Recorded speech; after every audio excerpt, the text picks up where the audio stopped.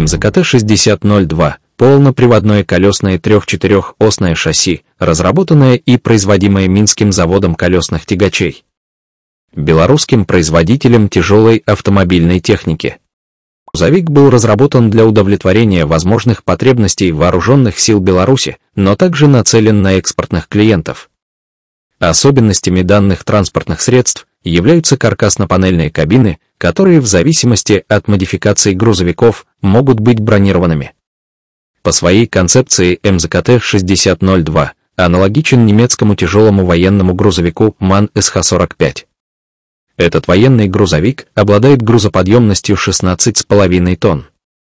Он также может буксировать прицепы и тяжелые артиллерийские орудия с максимальным весом около 15 тонн. МЗКТ-6002 оснащен дизельным двигателем Caterpillar C15 с турбонаддувом, развивающим 540 лошадиных сил. Он соединен с автоматической коробкой передач с шестью скоростями. Также этот грузовик может быть оснащен дизельным двигателем российского производства.